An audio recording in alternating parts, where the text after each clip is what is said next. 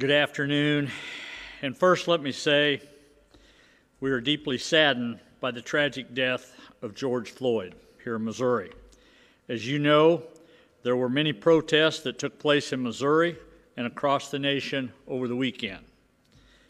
What happened to him was very wrong, and it has filled Americans everywhere with sadness, grief, and anger. We are also saddened by the acts of violence that have transpired across our state and our nation in response to this event. Citizens have every right to peacefully assemble and protest, and we support those who are calling for justice and peace. However, an element that seized on these peaceful demonstrations to commit violent acts and endanger the lives of citizens and bring destruction to our communities. This violence not only threatens public safety, it drowns out the voices of the peaceful demonstrators calling for justice and working to improve our nation. On Saturday, I signed an executive order activating the Missouri National Guard to assist local authorities at their request. At this time, we are taking a proactive approach to protect the people of this state. The National Guard and Highway Patrol stand ready to assist if needed. And I want to thank our law enforcement officers across Missouri for their efforts this weekend to maintain order and peace. We support peaceful protesters, and we are committed to protecting the lawful exercise of these rights.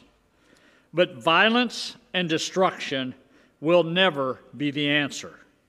It does not help us achieve justice or peace. Instead, it terrorizes innocent people and families, destroys our communities, and creates more anger and pain. Every citizen deserves to be safe and protected. And to change things, we must not tear each other down, but stand together peacefully.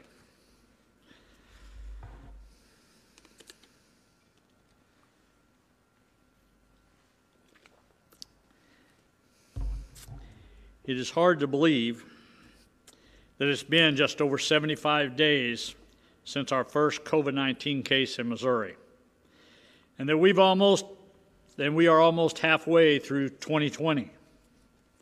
Up until this point, my administration has been very fortunate to have a strong, booming economy and a record low unemployment and high wage growth.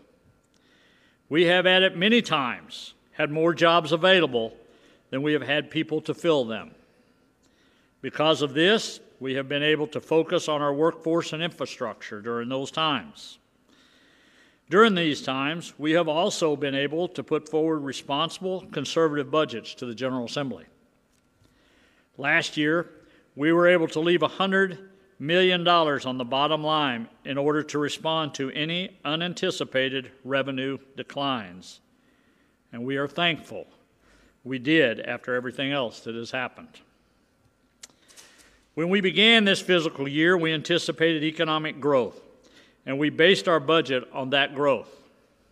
However, it goes without saying that COVID 19 ha- has had a severe impact on our anticipated economic growth. This is truly like unlike anything we have ever experienced before. We are now expecting significant revenue declines some of which may be larger than those experienced during the Great Recession. Just to put things into perspective, Missouri saw a decline of over 300,000 jobs between March and April alone, a decline of over 10%. Our unemployment rate, which has been a near historic lows for much of my administration, rose from 3.9 to 9.7% in April. We could have never imagined that this is where we would be today. But we've had to face the reality of the situation and make some extremely difficult decisions regarding our state budget. We have already withheld over $220 million due to budget concerns resulting from COVID 19. In addition to these restrictions, we will be restricting another $209 million by the end of June.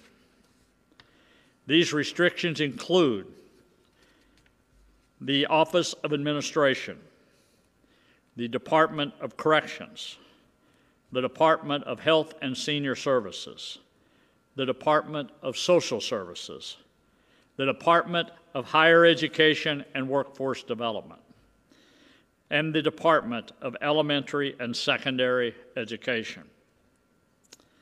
Of this round of restrictions, over $41 million in general revenue will be withheld from the Department of Higher Education and Workforce Development. For DESE, over $131 million will be restricted, including $123 million from the foundation formula. Fully funded, the foundation formula is over $3.5 billion. In order to make it as fair as possible, I have waived the hold harmless statute.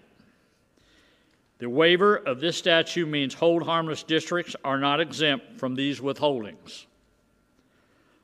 All local education agencies, including charter schools, will share a proportionate in this but shortfall. I have always been a strong supporter of education. These were extremely difficult decisions I never thought I would have to make in just a few months. During my legislative career, I have constantly, consistently voted for fully funded education budgets. As governor, I have proposed budgets that fully funded education. And before COVID 19, one of our priorities for this year was to start looking at ways to increase teacher pay. As difficult as these decisions are, we are experiencing an unprecedented economic downturn, which means we are having to make unprecedented adjustments to our budget. We have had numerous conversations with DESE, the State Board of Education, superintendents, and administrators to keep them as informed as possible throughout the COVID 19 crisis. And it is important to make these decisions now so school districts can adjust before next year's school year. Our intent is to withhold now and avoid withholds once school begins. In the short term, we be able to subsidize $187 million in federal funds distributed as Title I dollars to help a majority of our school districts. Today, Commissioner Vandeven is here to talk more about these funds and let her talk a little bit and explain that to you. Margie? Thank you, Governor Parson, and good afternoon. While news about budget restrictions is never easy to hear, we appreciate the leadership of Governor Parson and his team who have worked thoughtfully through this process in efforts to help educators prepare for tight budgets and tough decisions, the likes of which many Missouri school leaders have yet to experience in their careers. With the timing of these budget shortfalls, the majority of today's reductions will be reflected in our June payment to schools, which is our final payment of this fiscal year. At the full funding level, our Department of Elementary and Secondary Education would have distributed about $315 million to Missouri schools in June. With these restrictions, our June payment to schools will be reduced to $193 million a 39% decrease for the month. While schools are facing over $131 million in budget restrictions this month, there is some relief coming. Missouri schools are set to receive, as the governor just mentioned, $187 million through the CARES Act and the Elementary and Secondary School Emergency Relief Fund. Nearly half of Missouri's districts and charter schools have applied for these funds, and as of today, nearly 100 districts and, districts and charters have received about 16 million of those funds. Our team continues to distribute these dollars as quickly as we can, knowing how important this supplemental funding is during these uncertain times. Now, while these dollars are distributed like Title I funds, they do not have the same kinds of restrictions. Instead, school leaders have great flexibility with these funds and can use those dollars for any COVID related expenses dating back to March 13th. There's a wide range of allowable uses of these funds. They can be used to reimburse schools for costs incurred for things like technology and hotspots needed for remote teaching and learning, delivering meals and schoolwork to our students' homes, and even to pay staff members. We have guidance and a list of frequently asked questions on our CARES Act page of the DESE website. We are embarking upon historic budget shortfalls, and we, we remain hopeful that they are temporary as our economy begins to recover. To our Missouri families, we will continue to educate our children. The cost of not doing so is too great. The impact of these cuts may look different in each school across our state, and services may need to be adjusted, but we will educate and care for our children. To our Missouri school teachers and leaders, yes, our jobs continue to get harder. As I have said at each of these briefings, throughout this pandemic, you have inspired me and so many around you. Prior to this pandemic, we were discussing the need to elevate the teaching profession. Fast forward through these past couple of months, and I doubt that there are many people who do not recognize the importance of good teachers and leaders. Our communities continue to count on you in so many ways. And to our business and community partners, we look forward to working with you in rebuilding our economy. And we know how crucial a skilled and educated workforce is in that effort. It is imperative that we continue to improve lives through education. Our society depends upon it. So thank you, Governor Parson, and every education stakeholder in Missouri. We are all in this together, and we thank you. Margie, thank you very much. One of the things, uh, Zora's going to be up here just a second to talk from the higher education side of it. One of, one of the things I thought was so important once we started realizing what we were going to have to do is to share that with the commission, with the educators around the state, with the higher ed community. You know, the one thing I learned a long time ago, you're better, much better off being upfront, telling people the truth, make sure they know how to prepare for that when you're going to do things instead of just walking in here someday and saying we're making cuts and then they find about it at a press briefing you know, the reality of it is we got to prepare for those things. That's why we want to be very upfront with, with DESE and higher education to make sure they were aware that this was coming and that they would make sure that they could make those prepare. So with that, Zora, you want to talk on the higher education side of it? Good afternoon. I'm Zora Mulligan. I lead the Missouri Department of Higher Education and Workforce Development. Um, the expenditure restrictions announced today will certainly constitute a significant hardship for our public colleges and universities around the state. The amount restricted today essentially equates to the June payment that institutions would have received, and it's 100% of that June payment. This uh, is a significant challenge. It comes in addition to some expenditure restrictions that were announced earlier in the year. Uh, and I want to be clear in that it will have a very challenging impact on our institutions. Uh, it represents a tremendous test for the leaders and our institutions around the state. It is likely to impact student services and the student experience as well as that of faculty and staff. Uh, as Commissioner Vandeven indicated, the impacts of these cuts will look different on different campuses around the state, and so it's hard to make generalizations about how they will affect our students and our institutions. But one thing that will be uniform around the state is an unflagging commitment to the principle that education changes lives, and that it's our job as educators in the higher education space to make sure that continues to be available to the students that we serve. We've been very excited to partner with um, several other state departments throughout state government uh, to begin to develop a set of strategies to support struggling Missourians and help citizens become economically resilient. Higher education is a very, very important part of that, and that's true whether you're thinking about a short-term certificate that you can earn um, with support of federal job training funds, or an associate degree that you can earn through Fast Track, or a bachelor's degree that you can complete through Fast Track. There are lots and lots of opportunities to grow during these times, even though it is certainly a time of unparalleled challenge. Uh, we, as a department, have been working hard to communicate with Missourians, uh, their families, and school counselors about the importance of staying with it, of sticking with school. We hear a lot of discussion about gap year.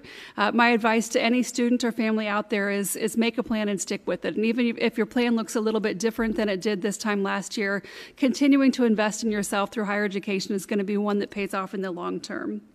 We also have been working very closely with the governor's office and others throughout state government to help understand the ways that federal funds can help um, mitigate some of the difficulties that are represented in the state budget uh, discussed today.